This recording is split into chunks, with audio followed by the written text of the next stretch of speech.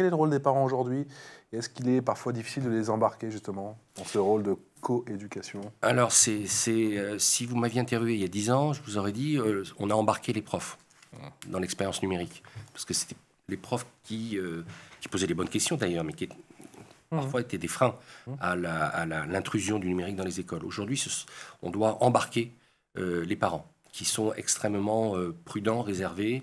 Euh, sur certains, le bouge ta Parce qu'ils ne connaissent pas aussi, parfois? Il y a un peu d'ignorance là-dessus, il y a une méconnaissance. Le bouge ta classe, on a, on a, on a quand même comme on dit, conférencer un petit peu avec les parents euh, pour leur expliquer pourquoi on ne sera plus en présentiel comme ça, euh, en ligne, avec euh, quelqu'un un petit peu au-dessus et d'autres qui regardent le prof un peu médusé.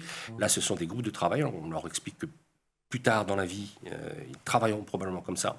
le Covid a dû changer pas mal de choses aussi le COVID a changé beaucoup de choses. le Covid a changé beaucoup de choses dans les mentalités des gens. C'est-à-dire qu'il y, a, il y a une prévention, une précaution qui, euh, qui se sont démultipliées euh, depuis le Covid.